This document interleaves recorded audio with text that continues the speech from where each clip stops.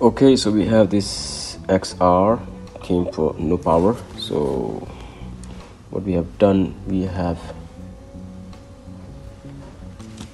disassembled the phone. And now we're checking um, what we have on the other side. So I'll make another video quick. Okay so we remove the sheet of the XR and then uh, as usual I have always suspect on this uh, cap which is most of the time is short. And that is the reason it doesn't go um, it doesn't charge or anything. So we checked on the ZXW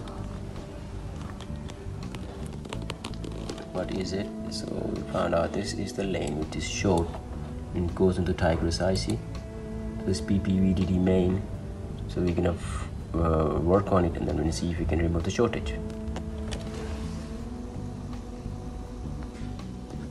Okay so we remove that capacitor and then we're gonna see what is it doing now. Okay so um, the device is powering on. I'm gonna see what is it doing. Just want to make sure that any sort of picture or anything on it and comes on. So I think should be okay. Powered on charging and rest of the things are not connected so the device has been fixed. We're gonna see if we have any code. We have a code on. We have not given a code so we don't know what else is wrong. So we're gonna ask the customer to give us a code and we'll check the device if everything else is okay. Um, this is also something funny I found. The camera came out all of it with the ring of the housing. Not supposed to come out like that though.